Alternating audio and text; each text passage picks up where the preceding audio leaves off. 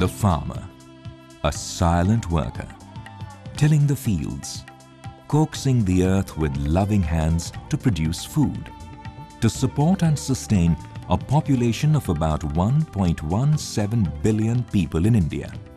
The humble farmer, the backbone of India. However, he is no longer alone in his struggle, for there is an entity of 50 million farmers that work as hard as he does to strengthen the hands of every farmer in India. This is IFCO. IFFCO!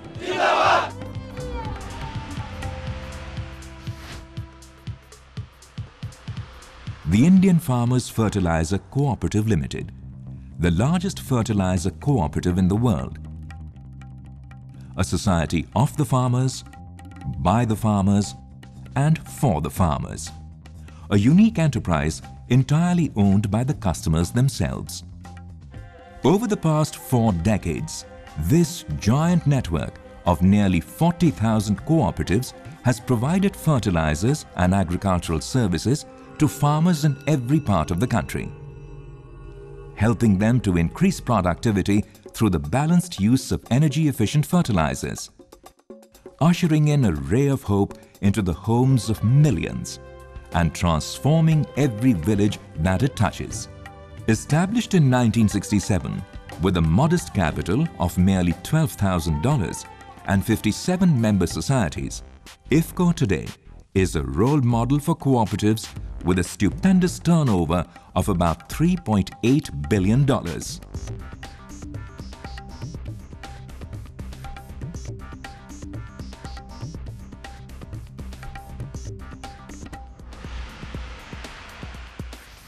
Today, IFFCO has five state-of-the-art plants to produce fertilizers, essential to raise agricultural productivity.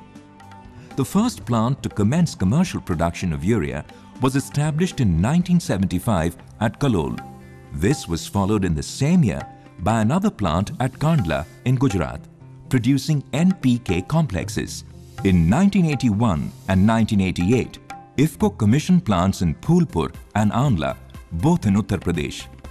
From 1996 to 1999, the production capacity of these plants was expanded to almost double of IFFCO capacity. In September 2005, IFFCO acquired a DAP NPK plant at Paradeep in Orissa. This was the first time in Indian history that a cooperative had ever acquired a private sector plant. With the capacity to produce more than 8.6 million metric tons, and gross sales of over 11.8 million metric tons, these modern plants consistently perform at over 100% capacity utilization and have made IFFCO the unchallenged leader in fertilizer production. Every fourth bag of fertilizer produced and every third bag of complex fertilizer sold in India belongs to IFFCO, an organization for which maintaining the highest standards of quality and productivity is a way of life. IFFCO has always adopted the most advanced technologies to improve the environment, energy efficiency, production and product quality. The IFFCO plant at Phulpur has now become the first in India to be converted from naphtha to natural gas for environment friendliness, improved energy efficiency and lower production costs. IFFCO's Aonla and Phulpur units are the first to install a CDR unit with a capacity of 450 tons per day to recover carbon dioxide from flue gases to supplement available carbon dioxide from the process in order to maximize urea production. This reduces the carbon footprint, thereby earning carbon credits for the organization. IFFCO Phulpur is also the first plant in India to install energy-efficient plate-type urea prill cooler to improve urea product quality. As an innovative approach to tackle the problem of fly ash generated in coal-fired boilers, IFFCO has successfully developed a technology for manufacturing bricks from fly ash.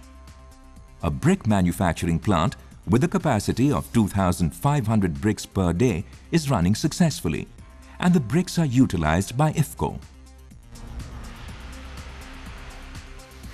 In order to meet the ever-growing demand for fertilizers, IFFCO has embarked on an ambitious expansion project at Kalol in Gujarat, which will add approximately 1.5 million tons of urea per year. In order to make fertilizers available at the doorstep of every farmer, IFFCO has achieved the highest record for transportation and product movement from its five plants and eight ports to more than 1,730 storage locations across the country. Further, IFFCO has given an impetus to the economic growth of cooperative societies by encouraging them to become partners in warehousing, rake handling and transportation of fertilizers to different parts of India. More than 600 cooperatives are benefiting as IFFCO franchisees.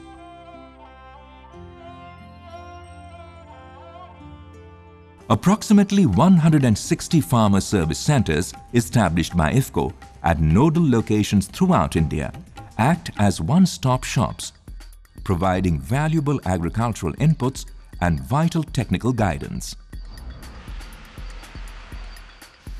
IFFCO is committed to corporate social responsibility and has worked in over 3,500 villages under its village adoption program.